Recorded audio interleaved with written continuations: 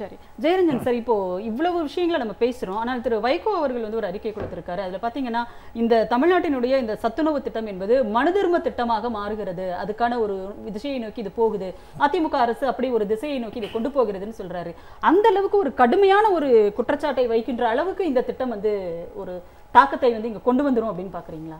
எனக்கு அது அவர் என்ன நினச்சி சொல்லியிருக்காருன்னு எனக்கு தெரியாது. ஆனால் என்னோட என்னுடைய அச்சம் என்ன அப்படின்னு கேட்டிங்கன்னா. இது வந்து இவ்வளவு காலம் வந்து எடுத்து இவ்வளவு போராட்டத்துக்கு பிறகு இது மாதிரி ஒரு அமைப்பை உருவாக்கி. ரெண்டாவது பொருளாதாரம் இவ்வளோ வளர்ந்ததற்கு பிறகு ரொம்ப எளி சுலபமாக செய்ய வேண்டிய ஒரு காரியத்தை. இது மாதிரி வந்து அதை கந்தர்கோலம் பண்ணுறதுங்கிறது இருக்குல்ல.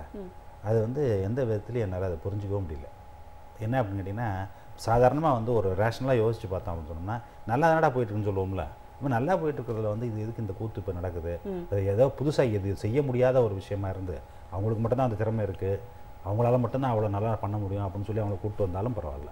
அல்லது உங்கள்கிட்ட ஒன்றுமே இல்லை. ஒன்றும் இல்லைங்க. பொங்கல் வந்துன்னா ரெண்டாயிரம் கொடுக்குறாங்க ஒரு கார்டுக்கு. ரைட்டா? அது ஆகும் அது?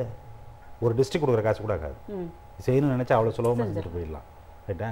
அந்த மாதிரி இருக்கிற சமயத்தில் இப்போ என்னத்தை கண்டுபிடிச்சி ஒரு பூதத்தை காட்டி இதை கொண்டு வர்றாங்கங்கிறது? எனக்கு அது உண்மையிலே புரியல. என்ன? ஏதோ ஒரு நல்ல மனசோட வர்றாங்கன்னு சொல்கிறாங்கல்ல நல்ல மனசு கெட்ட மனசுக்கெல்லாம் இங்கே ஒன்றும் வேலை கிடையாது. ஏன் அப்படின்னு கேட்டிங்கன்னா இது வந்து சேரிட்டி நடத்தல.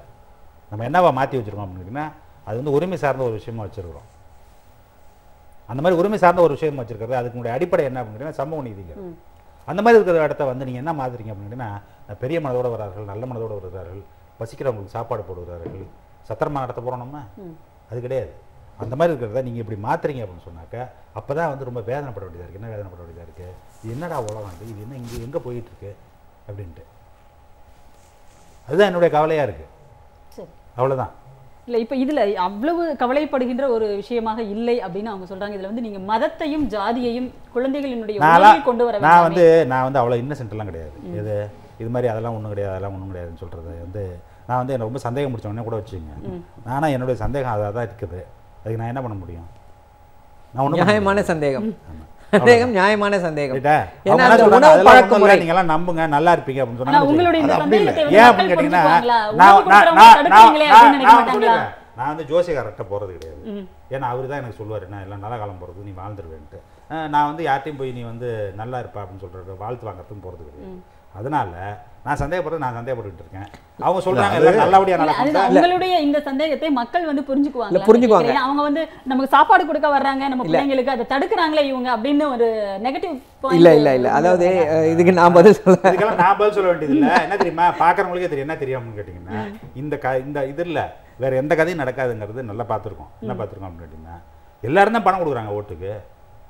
ரைட்டா பணம் கொடுத்து ஓட்டு கொடுத்தா பணம் போட்டா பணம் கொடுத்தா ஜெயிச்சிடலாங்கிற லாஜிக் எங்கேயா ஒர்க் ஆயிருக்கா? அதனால இதெல்லாம் நடக்காது. என்ன நடக்காது? எப்படின்னு கேட்டிங்கன்னா இதெல்லாம் பண்ணால் அது வந்துடும் அது பண்ணால் இது வந்துரும்ன்ட்டு. இது வந்து அதுக்காக அவங்க வந்து யாருமே அசர போகிறது கிடையாது. பணம் கொடுக்குறவங்க கொடுத்துட்டு தான் இருப்பாங்க. ரைட்டா? அன்னதானம் பண்ணுறவங்க பண்ணிட்டு தான் இருப்பாங்க. மத ரீதியாக சாப்பாடு போட்டுருக்கலாம் அப்படின்னு நினச்சவங்க போட்டுக்கிட்டு தான் இருப்பாங்க. அதில் செக்குலர் நாங்கள் பசிக்காக தான் போடுறோம்னு சொல்கிறவங்க சொல்லிட்டு தான் இருக்க போகிறாங்க அதை பற்றிலாம் நமக்கு ஒன்றும் கவலை இல்லை. நம்ம வந்து ஒரு ஒரு பாலிசி இது மாதிரி எடுக்கிறாங்களே அப்படிங்கிற லெவல்லேருந்து பார்க்கும்பொழுது நமக்கு இதை பற்றி அக்கறையினால இதை சொல்கிறோம்